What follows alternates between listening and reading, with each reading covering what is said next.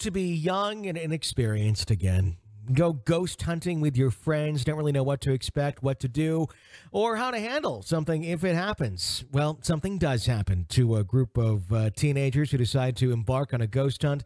What happens after that? Well, it's kind of craziness. If you want to hear that story, it's on EPP bonus episode 59 of Real Ghost Stories Online. Just uh, go to realghoststoriesonline.com, click Become an EPP.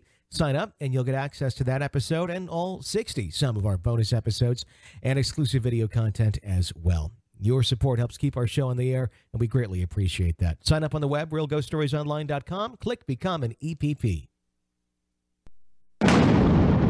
Welcome to Real Ghost Stories Online. Call in your real ghost story now at 855 853 4802 or write in at realghoststoriesonline.com. You're about to enter the world of the unknown and quite possibly the undead. This is Real Ghost Stories Online. That indeed it is. And on today's episode of Real Ghost Stories Online, could a female presence be the one that's helping a child locate lost toys? What do you do when the monster in the closet actually touches you? A family finds something in their home that doesn't pass the inspector's inspection, and a listener believes he sees the ghost of a younger version of himself. That sounds interesting. Yeah. It's one of those where it kind of makes you go, oh, I didn't think of that yet. this adds a whole other limb to the ghostly family tree. Those stories, your calls, and more today on Real Ghost Stories Online. Tony and Jenny Brueski joining you once again. And how are you this uh, this fine day? I'm good. How are you? I'm still not enjoying quinoa.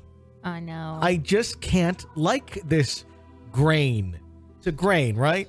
I think it is. It's it's so overused, and it's so in like, oh, I have some quinoa. I have this quinoa. We went out to lunch today, and and I had a piece of fish, and it came on on quinoa, and I, I normally don't order it, but I was trying to be a little healthier, and it was just like, okay, it's probably better than a whole big plate of rice, which actually. Uh, I learned not that long ago that it's really not. It's about the same when you're talking about caloric intake and everything else that's not great for you. It's right up there. Uh, but it's- I think people just enjoy saying the word quinoa. I think in this case, you ended up, you ate the fish, Mhm. you picked at the quinoa, and later you're going to end up eating something unhealthy when you're hungry because you had a wasted plate full of quinoa. I think that's it. Yeah. so, in your effort to be healthy and eat this crap, Well, I, I got it for the fish. I didn't get it for the quinoa. I could have completely passed on the quinoa. I know. I'm just I'm just don't I don't I, I don't know. I, I normally can find a way to like almost any sort of food if you doctor it up some way or another. Mm-hmm. And I, I'm I'm still hoping that somewhere when I try this, I'm going to find some preparation that someone did. I'll be like, oh, this is actually really good like that. I've yet to have that happen. And see, I'm all for eating healthy, Yeah. but if I try something twice and it Mhm. doesn't pass either time, I'm not going to keep getting it, hoping that some place is magically going to make it to not taste like cardboard. It's like the definition of insanity. Me and me and quinoa. I don't It order it very much, but every Yeah. once in a while it happens to be on a plate. So I'm like, let me try this. Let me. Nope, still not. It's crap. The face can go away anytime now. Anyway, just go back to the good old quiche. Hmm That's all you got to do.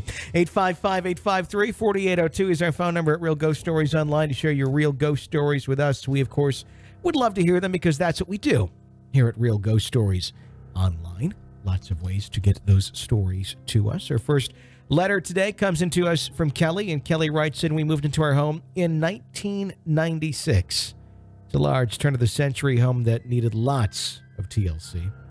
I've experienced many paranormal episodes over the years. Our resident ghost likes to humor herself. About 15 years ago, I was alone in our home with our one year old twin boys.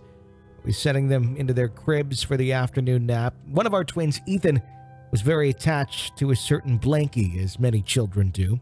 I could not find that blankie anywhere. Looked in the crib, under it, all over the nursery. And then began to look in every room of our home without success. I returned to the nursery to find the blankie in the middle of the floor where I'd been kneeling in plain sight. Our basement consists of two large rooms. The first room off the stairs is a storage area. My husband John uses the back room as his woodworking area. The rooms are separated by a doorway against the stairway wall. One evening, John came up from the basement looking very pale and shaking. He walked into his woodworking room to retrieve something and immediately walked back through the basement doorway into the main storage area. In his path was one of those toddler toys you push with a handle, little colorful plastic balls, a plastic dome pop. The toy was not there moments before, but what frightened my husband was the fact that the toy was upside down on its curved dome with the handle not supported by anything. Someone had to be holding the handle to keep the toy from falling over, but no one was there. The reason that I call our resident ghost a she is because of an incident that our son Ethan had when he was about eight. He was playing a game on our computer with the boy from next door. The boys both looked up from the computer to see a woman in an old fashioned long pink dress standing next to them and watching them play. The frightened boys both ran outside. Our young neighbor did not venture back into the home for a long time. Thank you for the podcast. I'm enjoying it immensely. I think that is interesting that it it's manipulating things like that and it's obvious that it's it's something that shouldn't be happening. Mm-hmm. I mean, as far as the physics of how a toy can Yeah. balance like that. I can picture those domes. You know, th- those are very. There's no way you're going to get that thing to stand up like that. No. No. That would be very disturbing to have that show up. I mean, I think what may. I mean, so far it doesn't seem to be doing anything real harmful, no. but just the fact that there's something that seems to be interested in interacting, at least with the toys of the kid, makes you think it's going to want to interact more with the kid. hmm That's the scary part. I almost think it's like a grandmotherly type spirit. And it could be. It would just be nice to, as a parent, if you're in that situation, get a little more definition on what sort of ghosts are coming around your kid. Yeah. It's like, oh, okay, you're you're a good ghost. You can come hang out. That's fine. Mm-hmm. The other night, it was funny. We were um, uh, we had a big ice storm here, Mm-hmm. and uh, essentially from like Thanksgiving to uh, about Monday, uh, it was pretty much ice everywhere all around us. And after that happens, when you have an ice storm, um, you have immense cracking and thuds and weird noises if you go outside. Because all of the trees and anything, you know, the buildings, decks, anything around it, it the the ice as it is coming off is is cracking in all these weird places, and it sounds kind of eerie Mhm. especially if there's no wind and there really wasn't much wind thank god because it would have been much worse but uh, it's just a weird eerie sound and our littlest was downstairs and it, she was she was going to bed and she she always sleeps with her light on for a while but she was kind of freaked out because these were sounds she had never heard before. Mm-hmm. and, and her bedroom window right that right near it is pretty close to a deck area so she can hear all of that. And and she was crying and, and normally she's really a good trooper. She goes through thunderstorms. She's never had an issue with thunderstorms. Knock on wood. we knock on wood yeah. But uh but these are weird sounds. So i went in there and calmed her down comforted her you know you know it's okay and i said you know what, what are you hearing she's like there's noises outside my room and and i knew it was the deck and, and Mhm. that sort of stuff I'm like it's okay and i explained to her like how i explained thunder angels are bowling Mhm. and it works. That's how it explained to me, and it worked great. It works great with her. And I said, well, you know how like the Angels Bowl? It's just it's the animals that are outside, out in the woods, way back there. They're out there playing in the ice, and they're just having fun. So you're hearing that. You're hearing, you know, them climbing up stuff. It's nothing to worry about. They're just playing, you know, you know. And I said they're playing Batman. How you like to play Batman? Oh, I like to play Batman. And, and she's like, she was cool with it. I said, well, what, what does it sound like? And this is this is the kicker. This is the fun part. This is where the tie-in happens. What's it, what does it sound like, honey? Zombies. How does that child even know what a zombie sounds I like? don't know. We don't watch any zombie thing around her. She doesn't see any of that stuff. I'm, you know, but that um, she watches a, a cartoon Batman show from like the '90s. Mm-hmm. that's on Netflix or Amazon or something. And um, there's a lot of monsters on there um, from time to time. So I'm that, and she watches Scooby Doo. That could be. And I'm I'm guessing Scooby Doo of, of what they have monsters on these shows. So I'm guessing Scooby Doo probably has had a zombie or 2 Mm-hmm. and that's the association. But it's just it's cute and kind of funny, and at the same time you just you want to hug her and like everything's okay, which I did. Um, but it's just hearing looking at this little you know innocent go look up at you and say, It sounds like zombies. it's just, it was kind of funny. Yeah. But anyhow, as this might tie into that, you know, the story with the kids. Anyhow, 855 853 4802 is our phone number at Real Ghost Stories Online. Diamond writes in This paranormal event isn't anything new to me, but it's always has a way of surprising me. My first encounter with an entity was when I was about six. I've always been terrified of the dark, even to this day. I'm just, it's just countless experiences I've had that made me dislike the dark. It's like entering a new world.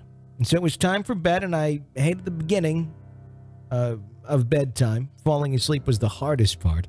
So as a kid, when I'd go to my room and put on my PJs, turn on the lights, turn off the light switch, take a deep breath, and stare at my bed. I'd close my eyes and turn off the lights and run to it. I always asked to have it against the wall, and I still have it against my wall today. Makes me feel safe against it, knowing it's a wall. That day, for some weird reason, I was terrified more than usual. I couldn't move. My heart was beating, and I could sense something behind me, staring, dark. I could hear low mutters coming from the direction of the closet. I froze, my ears heightened, trying to strain and hear what it was saying. I couldn't understand it at all. Some weird language, but unfortunately, I don't remember the exact words. My mom always told me to pray for it to leave, so I closed my eyes, covered my ears, and I began to pray for it to go away and leave me alone. Then I could feel a hand go through my hair. I stopped praying and lost my breath. I was wide eyed, petrified at what was touching me. Kept going for a while until I mustered all the courage I had to turn around, and nothing was there, just the blackness of the room. So I turned back around an inch closer to the wall, literally smashing my body against it. I closed my eyes and started to pray again. Then the hand came back and started to brush through my hair again. I was so scared of what was touching me and combing my hair. My mind kept imagining some creepy person or monster touching me. I once again quickly turned and saw nothing. Then I slowly started to calm down and started to pray again. A crazy calmness came over me. Then again, it started to brush my hair again. I wasn't scared this time and I ended up falling asleep. The next morning, I woke up and remember what happened last night. So I ran to my mom's room and she was awake watching TV and I told her what happened and she looked at me startled. Then she told me, It's probably your guardian angel letting you know that everything was okay. This made me feel better about what happened that night. Seriously, though, it's the one thing that will stick with me for the rest of my life. Knowing that maybe I had an angel or something watching over me and protecting me made me feel calm when I was alone in the dark. Thanks. Till next time. I just think paranormal things should keep their hands to themselves. It would work out better that way. Yeah, I, I don't care if it's good or bad. I don't like things touching me. Hey, how you doing? It's all okay. What if you knew who it was? Mm-mm. Even if you knew? No, because it's still weird if they're dead. Even if I'm a ghost before you, I can't hold your hand. You wouldn't like that? That weird you out? Tell everyone right now, Jenny. Tell everyone. Okay. Say how you really feel. Okay. You you can hold my hand as a ghost. We'll just get that settled right now. Can I do anything else? No. Weirdo. So I have to wait till you're on the other side too? Yeah. Okay. No, just just asking. Okay. 855-853-4802 is our phone number at Real Ghost Stories Online. Yang writes in, Hi, Tony and Jenny. I've uh, just started listening to your show at work. I've gotten really bored listening to my music over and over, so I started listening to your podcast. It's a great show. Not sure if it's a good idea for me to be listening to it since I do work third shift.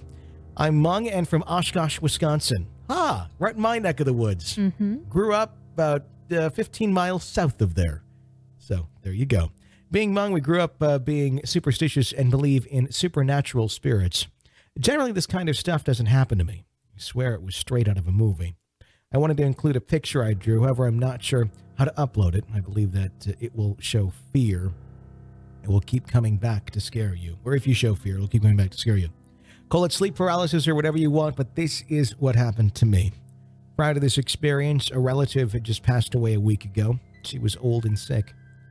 It was during the week of the funeral when this happened to me. It was my day off. I'd gotten my errands done and I was feeling tired. I decided to take a nap on the futon in the living room during the day. As I was dozing off, I started to hear bare feet shuffling on the laminate floor. It surprised me because no one was home besides me. The sound of multiple feet shuffling got louder and louder. All of a sudden, a figure appeared on the other side of the coffee table. The figure had long black hair and was wearing a Hmong dress, the ones where they wrap it around their top. Hunched over with her long hair on her face, she started slowly walking on the other side of the coffee table towards my feet. As scared as I was, and as hard as I tried to move, I couldn't. I felt like I was paralyzed. She continued to move around the coffee table. When she reached the corner of the coffee table by my feet, she flew towards my face. At that very moment, I flinched and closed my eyes. The second I opened my eyes, she was gone. It was short, quick, and scary as hell. This again hasn't happened to me in a long time, and I'm glad it hasn't happened. Like I said, I enjoy your show, and I look forward to listening to your new shows. Okay, I think this is interesting because it sounds like a case of sleep paralysis. Mm-hmm. But what I think is funny is that the hag was wearing something that was more his culture. Sure. You know, it was a Hmong dress. It wasn't something where we usually hear, you know, old lady in a white dress, long, long black stringy hair, Sure. really creepy. I, I just found that interesting that that character, you know, the the scary one that comes during the sleep Mhm. paralysis changed. And appeared that way to that individual. Yes. Yeah. That's interesting. Mm-hmm. Very interesting. And I, I don't blame him for saying, I'm glad it's only happened one time. Yeah. That's that's one of those things where once you have it happen, you go, yeah, I don't really, I, I'm good. I'm thanks for sharing. And uh, that was a wonderful show and tell. We're done. Mm-hmm. so, thank you for sharing that uh, that story with us. Linda writes in, this incident occurred when I was 15 years old. Moved into the attic of our home and noticed that the floor creaked all night like someone was moving around, but I just put it down to the house settling and the wind outside. I had some pretty dark thoughts in that room, which isn't like me at all. I'm a pretty loving person. I'm a mom first and have trained and worked as an RN. I have back problems, so I'm not currently working in the nursing field. I only mention these things to reiterate that it is not in my character to sit around with a black cloud over my head thinking murderous thoughts about my family. I'm a born caregiver type. To further explain the backstory, I have to say my family was plagued by addiction. My dad had a serious drinking problem that ended up killing him. When we first bought the house, my parents took us kids over and we got to walk through our new house. When we got to the attic, I stopped and said to my mom that an alcoholic man had lived in this room and had gone through alcohol withdrawal. I saw a woman who was his sister caring for him also in my mind's eye. Mom confirmed that they had bought the house from an older lady and her brother. I moved into the attic. I started having dreams of emaciated, wrinkled, creepy old man whispering to me in my sleep. I could never make out or remember what he said, though. It was creepy. Also, the floor would creak all night long and the TV would make sounds like it was settling too plastic creaks and pops. One night I woke up and saw my brother's bed up in the air about three feet off the floor. He was sleeping on a mattress on the floor. He had a bad dream and wanted to sleep in my room. He seemed really scared, so I let him. Thinking I was dreaming, I closed my eyes, tightened, determined not to open them again no matter what. The hair on my head and neck stood up, and the next minute passed very slowly as I forced myself to relax and go back to sleep. I was successful mostly because I felt so exhausted and drained. Looking back, I know I wasn't dreaming because dreaming people don't feel that kind of fear while falling asleep. Weird to say, a floating bed was nothing compared to the ranges my dad, or the rages my dad flew into when he came home drunk late at night. One day I'd walked over to my friend's house to visit, and my mom called and said I'd better get myself home because I was in big trouble. Perplexed, I asked her what I'd done. She replied that she told me to come downstairs and I had mocked her and made fun of her. I explained to her that I had not said anything to her and that I had been at my friend's house for several hours. She didn't believe me at first. I had to convince her. My friend backed up my story, so she finally let it. There were more things that happened, and I can write back some other time. The story's probably too long as it is. It's nice to have somewhere to share this story. People would look at me like I was crazy if I told this anywhere else. Love the show. Take care, Brueskis. Linda. I think it's very interesting that she could pick up on not only what type of of spirits were there in the attic and what had happened there, but the detail of. I mean, she knew that somebody had gone through alcoholic withdrawal Mhm. in that attic. That's really interesting to me that she was able to get that from just being in that space. Sure. Very sensitive person. Yes. And, and maybe not be completely aware of those abilities. mm-hmm. You know, somewhat, but maybe she's she's more in tune with that than she really realizes until she starts sharing these sorts of things. I think it's even further than a sensitivity. A sensitive, a sensitive person would know that something was off, that Mhm. the space had a history that wasn't always pleasant. But to pick up that kind of detail, Mhm. that that's more than sensitive. Sure. So Psychic? maybe, A little a hint of psychicness? yeah. A touch? Mm-hmm. A tad? Trying to think of little other words. This is where I need a thesaurus. I think we hit it. Okay. Okay. All right. Moving on. 855 853 4802 is our number. Beth writes in Hi, guys. I'm a new listener, adamantly for the Halloween season, but now I'm hooked. Here's my story that took place in Maryland from 2009 to 2014. My husband and I bought a foreclosed three bedroom townhouse in an area we really liked. The home needed a lot of work to be move-in ready, but it was all we could afford with two kids and a third on the way. We closed on the home at the end of October 2009, and it wasn't ready for move-in until mid-February of 2010. It was a 1930s style solid concrete block townhome at the end of the row. We had to replumb the entire house, drywall, put down new flooring. Well, that sounds like a fun project while you're pregnant. yeah. My goodness. We were able to keep a lot of the original hardwood features of the house that we really enjoyed, including the beautiful hardwood staircase. We settled into our new home nicely, and over the months we prepared for the new baby to arrive that first summer. I'd say our haunting started off pretty slowly. Started with strange noises, creaks, rattling windows, things that were easily dismissed with healthy skepticism. One night we awoke to an awful crashing sound.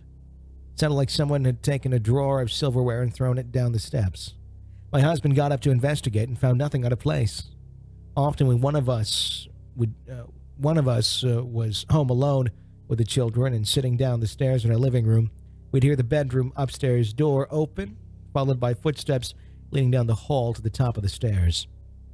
A few times it was so frightening, I'd take a knife from the kitchen and slowly go upstairs to make sure we didn't have an intruder.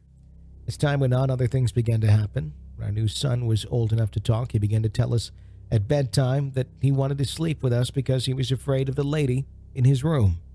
We had no idea what he was talking about, but it frightened us quite a bit. Our daughter also claimed to see lights in her room from time to time.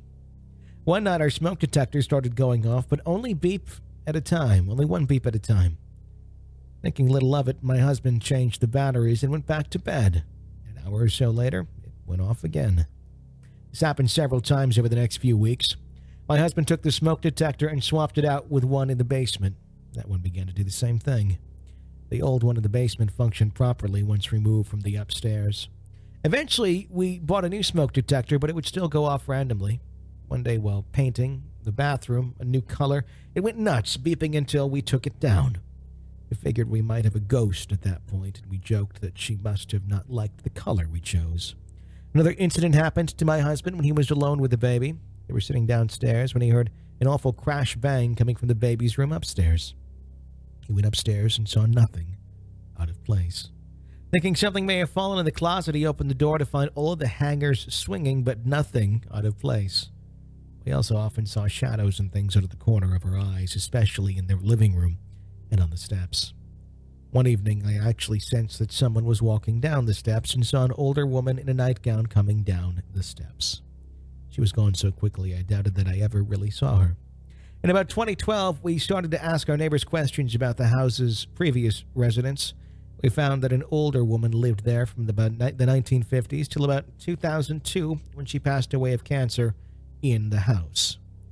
They said she had died in the living room because when she became ill, she could no longer go up and down the stairs. They also knew that her bedroom was what is now our youngest son's bedroom, where he saw that lady. We went to sell the place in 2014 to buy a single family home. We hired the same inspector to inspect our new house, who had inspected the townhouse for the buyer. He laughed and mentioned that now the ink was dry, the place was haunted. He nonchalantly replied, Yeah, I sensed a female presence on the second floor. My husband and I were both floored. He went on to explain that he had been sensitive to ghosts since having a near death experience years ago. Our new house is pretty quiet, and sometimes we actually miss having a presence. Our inspector certified our new home as ghost free. So that's our story. Love the show. Thanks for sharing our story. That is exactly what we talk about all the time. People Mhm. becoming sensitive after a near death experience. They Sure. Just they thin that veil and they're able to pick up that sensitivity and know when there's a spirit there. Mm-hmm. I think it's interesting. All of our stories have had to do with old lady spirits today. It is interesting. It seems to happen that way. Mm-hmm. I wonder if you could start up a business of being a paranormal ghost to a home inspector. Maybe. You know, people hire home inspectors to go through and check out things, and oftentimes they do a real shitty job. There's some good ones out there, but I've never had the fortunate luck of working with one. Mhm. Uh, but uh, I, I wonder if you could uh, do that. I mean, there's no guarantees, of course, with something like that, just like there really isn't any guarantees with the home inspector either. Um, I, I'm wondering uh, if if that could uh, could be something. It's just essentially if a sensitive person walked through the house and if they sense something, they tell you what what it is, what they think it may or may not be. And if there's nothing, there's nothing. I don't know.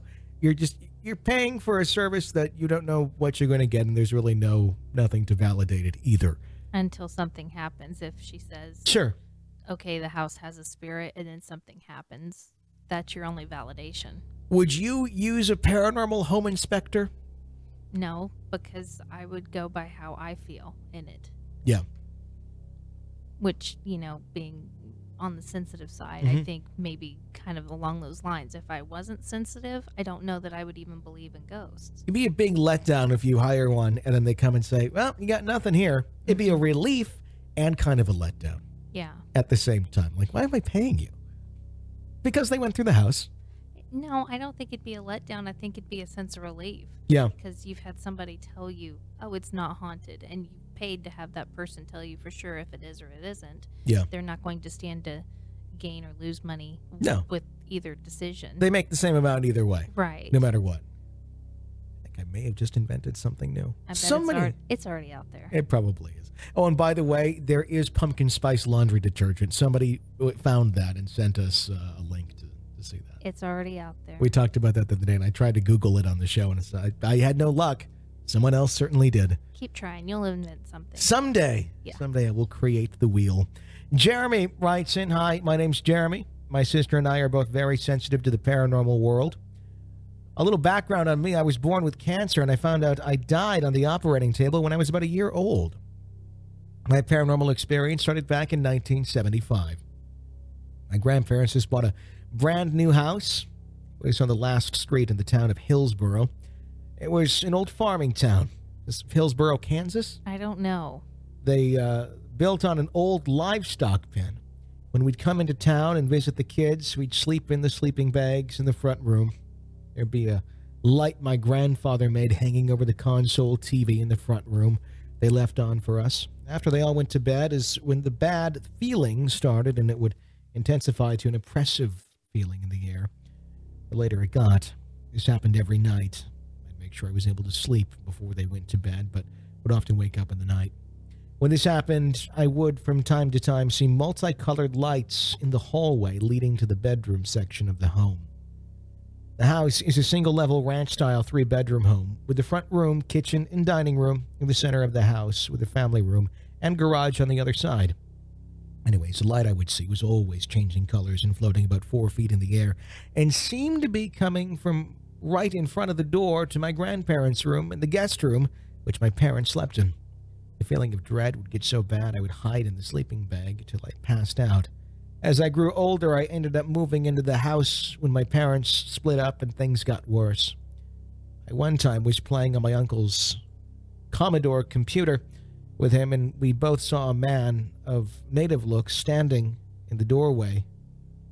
I was about 14 at the time, and we thought someone broke into the house. I confronted him, and he disappeared. These occurrences continued till I was in my early 20s and was watching the house for my grandparents. The last event happened about 1 a.m. when I was home alone, and a disembodied voice told me I was gonna it was gonna kill me.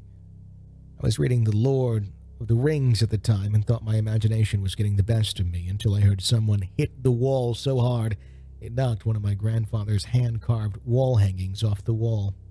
I got up, looked through the house, and told it to bring it if it thought it could.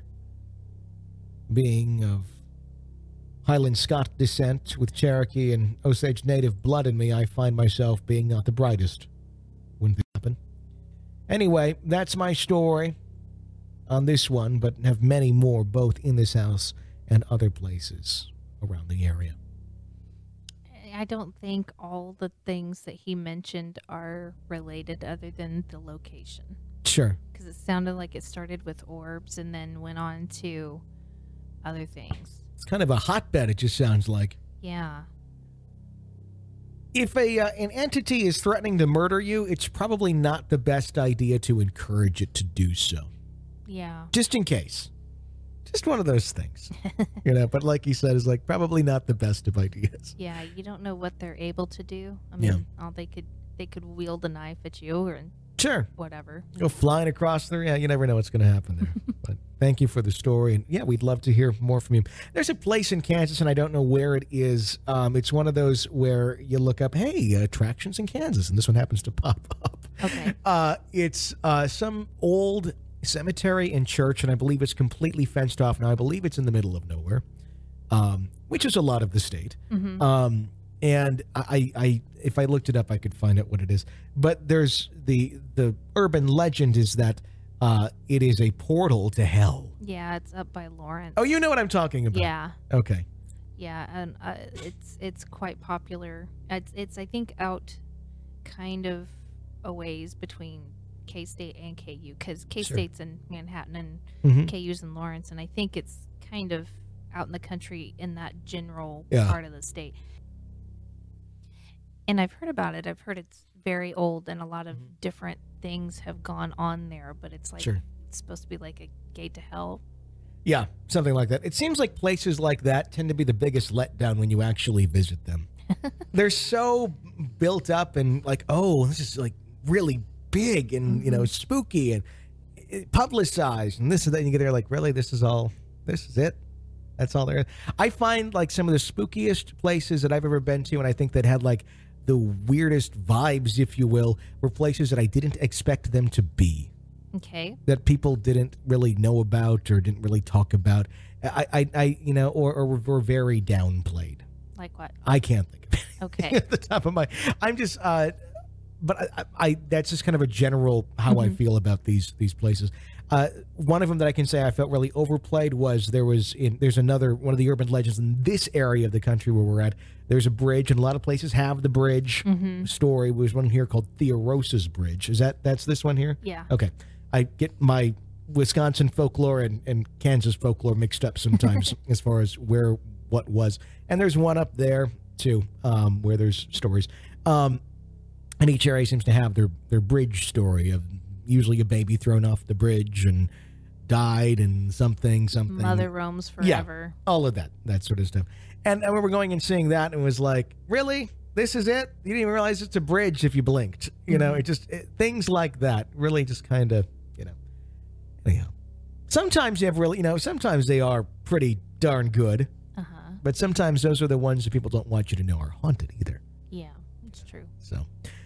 Interesting stuff. Jade writes in Hi, Tony and Jenny. It's Jade from Yorkshire, England. This story is really cool, but it's also really confusing and odd. It isn't my story, but my uncle's. My family have a bit of a history with the paranormal. My dad's grandma, who is my great grandma Eliza, was quite well known for being psychic or having psychic abilities. It would seem that her gift may have been passed down through our bloodline. Collectively, my family has had tons of paranormal experiences, so it's hard for me to pick ones to share with you and your listeners. Anyway, my uncle is 10 years younger than my dad, and so by the time this event happened, my dad had moved out of the family home and with my mom, while my uncle Stephen still lived with my grandma Betty and granddad Dennis. They live in, a in an estate in Leeds called Cottingley.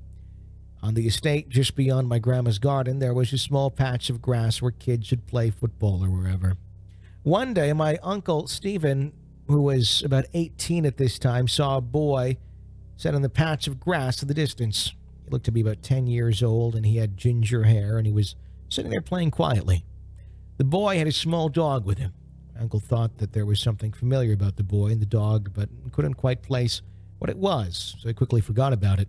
There was nothing particularly unusual about the scene or otherworldly. A few months later, not exactly sure when it was, but my uncle Stephen was looking through some old photographs, and he was flicking through suddenly. One caught his eye.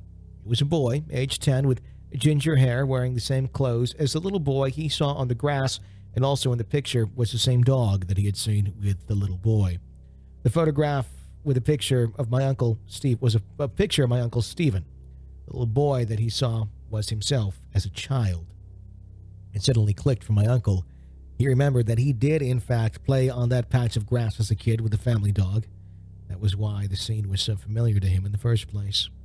Obviously, my uncle remembers having a dog, but all dogs of the same breed can look really similar. Plus, it never crossed his mind that the figures could have actually been him and his dog. My uncle and I have discussed this experience and pondered about what it actually was that he saw.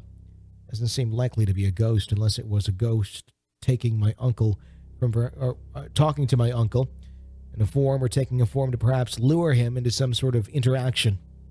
We came to the conclusion that maybe it was a recording of sorts, that perhaps places or areas can absorb energy and play certain events or occurrences on a loop over time. I've personally never heard of anything like this before, and I wonder if you might have any ideas as to what it could have been. I love the show and really enjoy listening to all the stories, so keep up the great work. Jade. It sounds like a Wrinkle in Time story, but what's different is seeing yourself Mm-hmm. this time instead of just a glimpse into the past or seeing something like a building that used to be there that was torn down that's there again and it, the next time you go it's gone again Mhm. it, it's really interesting this time he saw himself the past of himself is that supposed to be back to the future Yes, it is. okay I know it's not very good. no it sounds exactly like when you do the song from titanic yeah everything's like that quit You ever do that? no You just kind of you, you, you put your, your lip to your teeth, and it sounds like a very bad Kenny G saxophone. it does not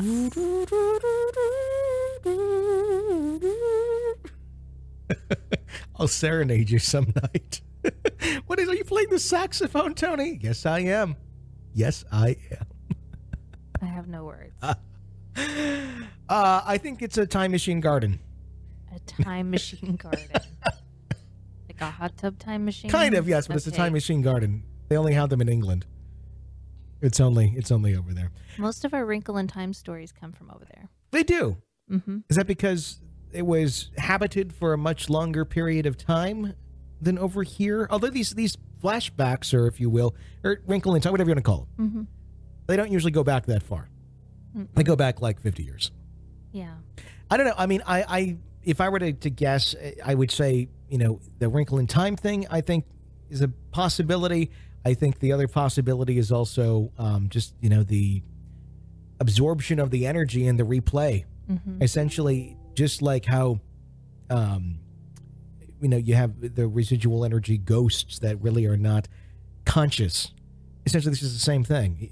If if possible, a hundred years from now, somebody may see the exact same thing there, and it's not really the ghost of him; it's the image, an imprint of him, but he's really not there because obviously he saw himself. sure I think that it just might be that yeah he was lucky enough to see his own ghost. that's kind of strange Cue music. for all the things we talk about that that one i think is kind of strange I like that one. Storm writes in, I'm a new listener to your podcast, and so far I'm enjoying the show. Keep it up. And I feel that I can share the experiences I've had over my short life. I'll tell them to you in chronological order to the best of my ability, being that I just brushed off a lot of these experiences, chalking them up to my childish imagination, or they scared me enough to block them out till I was old enough to reconfront them. There might be some jumping around, forgive me. I'm also not going to disclose any real names. Most of these people would rather these events never happened and would rather not remember them. With that, let's begin. Location South England, Illinois. Age exact unknown. Elgin, Illinois. Elgin? Mhm. Okay. Exact age unknown, younger than five. When I was younger, we lived in a small suburb of Chicago with my family. At that age, my grandmother lived in our basement. and She was kind of old. Never had any issues with her until she moved out to live with my aunt. After that, the basement became our living room and playroom areas where we kept all our toys and entertaining things. Night or day, I never had a problem with the basement. I remember I, a few times uh, when I would wake up to go down the stairs in the pitch black just to retrieve my blue blanket that was under my brother's came back from a camping trip. My brother, whom is six years older than I, was in Cub Scouts, and I would go to the camping trips often on the weekends during the summer. After one such trip, he returned and recounted him and a few of the other boys spent the night before playing around with ghost stories and stuff along that line, something you would expect of young boys. This trip, though, he recalled an attack on their tent late at night from a dog of some kind that ended up biting him and a few of the other campers. The adults heard the commotion and dealt with the situation accordingly. No skin was broken, so there was no blood. My brother was given an ice pack, and the night went on. We were told that when we picked him up, and he still had a slight outline in the area, the very next time I went to go retrieve my blanket, again forgotten in the basement, I was very distinctly remembering feelings like something big and mean was watching me from the bottom of the stairs. Something that wanted to hurt me, and it scared me. So much so that I couldn't move. All I remember was looking down the stairs, getting this immense hostile feeling, then collapsing to the ground and bawling my eyes out. After some time, my mother came out of her room, saw me, and asked what was wrong. I tried to respond, but nothing came out. All I could do was point down the stairs. After she turned on the lights, of which one turned on in the basement living room and at the bottom of the stairs, I was able to talk again, and the feeling was completely gone. To add to the creepiness, my blanket was sitting on the bottom step, someplace it would never be left, almost like it was taunting me. After that, a lot of bad things started to happen in our family. Our parents got divorced. Both parents began very hostile, even got even very hostile, even to me and my brother. Our whole family seemed to fall apart at the experience as they continued to happen. I'll send you the next encounter later this week. Always send us the next encounter. People who always ask that question, yes, please send us your next story. Yes. Yeah. Personally, I was waiting for dogs to appear in the basement, Okay. but that didn't happen. Unless that's in the next encounter. Yeah. So let us know, Storm. 855 853 4802 is our phone number here at Real Ghost Stories Online to share your real ghost stories with us. Of course, you can also write into the website, realghoststoriesonline.com. Let's go over here to a caller. Let's go to uh, Ashley in Indiana. Hi. Hey, Tony and Jenny. Uh, this is Ashley from Kokomo, Indiana. And first of all, I just want to tell you uh, thank you so much for playing my story. Uh, I heard it a couple days before Halloween. I was uh, catching up, and I just got so excited. Uh, I was so happy that I, I had heard my story. And my sister is up from Tennessee, so she got to hear it too. That was really fun. So thank you so much for playing. Um, glad you guys liked it. Um, I'm going to tell you a story about uh, the house that me, my mom, and my sister lived in after my parents got divorced. Uh, it was my grandma's house, and my dad had just had it uh, like remodeled to sell. My grandma was living in a nursing home, and uh, they were going to sell the house. Well, my parents got divorced, and my dad just went ahead and bought the house. So my mom, my sister, and me would have a place to live. So we moved in there. Uh, not long after we moved in, um, my mom had met uh, another man. I mean, I don't think it was like right after, but I can't, maybe like a year or something. So anyway, uh, she met a man named Bill, and uh, he seemed like an all right guy. You know, he was funny, and I mean, I was eight years old. It doesn't really take much to entertain a kid and get you to like like him. And so, you know, they got close. They started dating, and then eventually got married, and he moved in.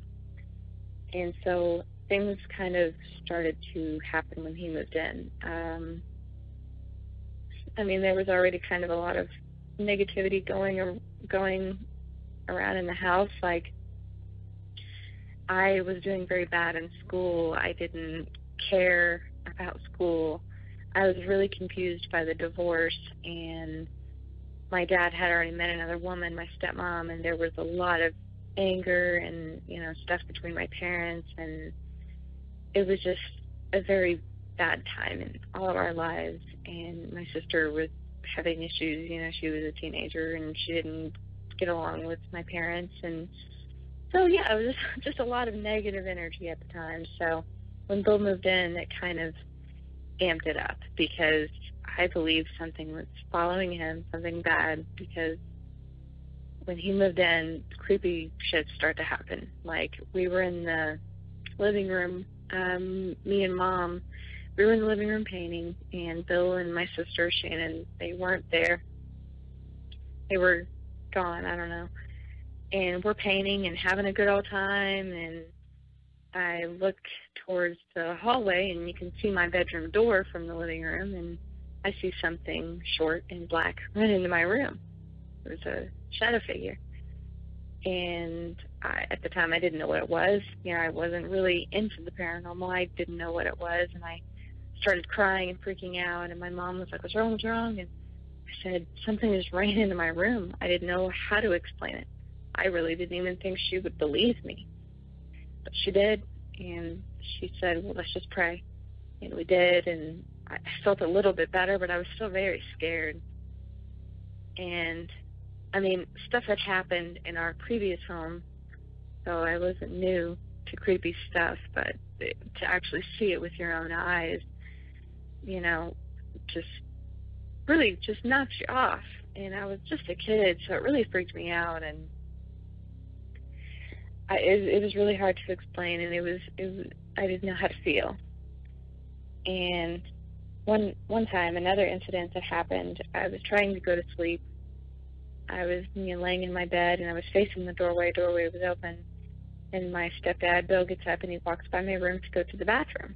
Well, there's another bedroom back there, um, you know, down the hall in the bathroom, and there's another way to get into the house back there.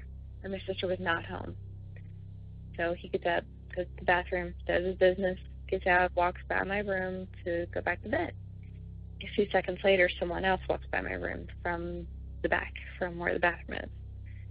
And it was a man. And he was dressed in all white, white pants, white long sleeve shirt, and he had shoulder length hair. And uh, I don't remember feeling like really scared at the time.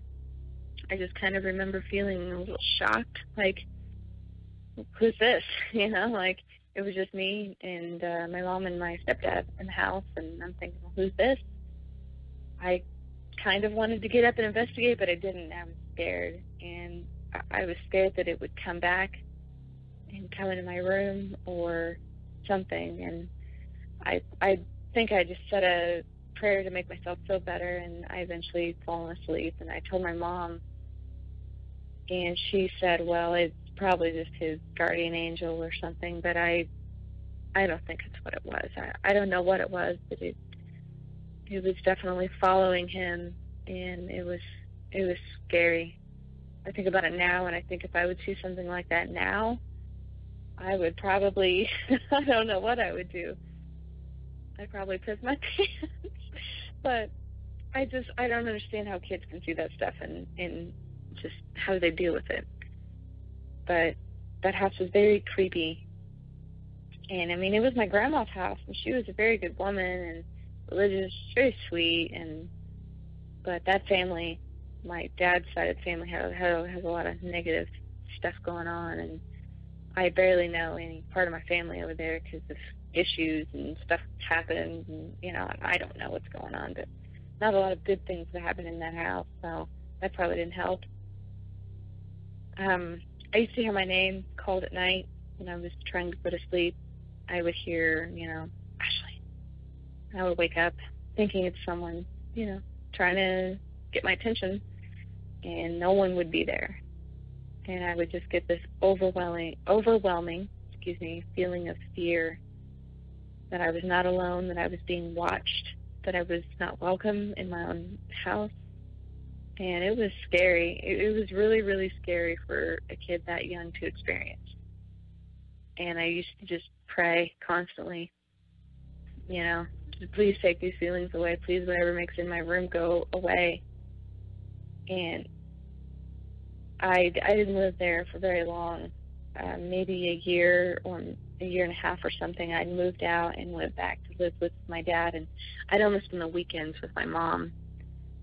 But uh, her and Bill didn't stay together for very long either. They had divorced, and he moved out, and the activity died down. Um, but the house still felt creepy. Uh, here recently, I had asked my mom if she'd ever felt anything or seen anything when Bill was there. She said no, but I don't think she was telling me the truth. I I think she'd seen some things as, as well. Um, so yeah, that house was creepy, and I've had things follow me my whole life, and it's just it's it's crazy how you know I people listen to your podcast. I hear people say, "Oh, I've had these things happen my whole life," and there's other people who haven't had one thing happen to them. It's like what what makes us so special, I guess, to have all these things happen to us, and then you know, you know, other people you know they don't have one thing happen to them. So I don't, I don't know. I love the paranormal, and obviously I, I listen to your show and I love it. So I don't know. I don't know how to explain it, but that's my story. Um, I hope you guys like it. I hope I didn't ramble too long, and I hope to hear this on the air. And I love your guys' show. And uh, yeah, have a good day. Uh, take care. Bye bye. Thanks for sharing your story with us. There's something really creepy about the idea uh, of a entity or some ghost or whatever you want to call it knowing your name Yeah. and being able to say it out loud. Mm-hmm. Because when you have other other things going on, sometimes if you, you see it something kind of in passing or out of the corner of your eye, you can almost write it off as this really has nothing to do with me. I just happened to catch this.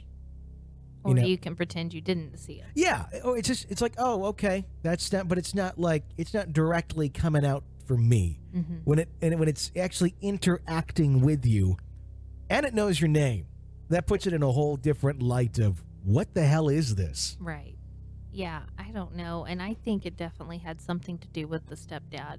Yeah. You know, the way that everything really spiked when he was around. That's what triggered it, or it maybe something had been following him, or something came along. It was part of his baggage. Mm-hmm. you know, it's uh, it's a, a very creepy stories. Thank you for calling in and sharing your experience with us. We do greatly appreciate that. If you like our show, you know what we ask you to do. Please help keep us on the air. Become an EPP. It's only five dollars a month. Get all the bonus episode, exclusive video content.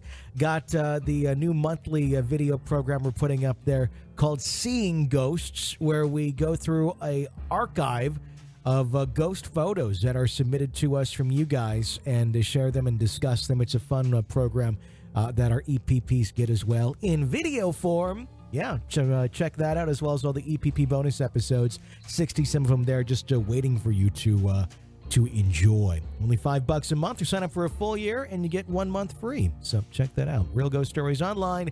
Dot com. Click Become an EPP. Until next time, for Jenny Brueski, I'm Tony Brueski. Thanks for listening to another episode of Real Ghost Stories Online.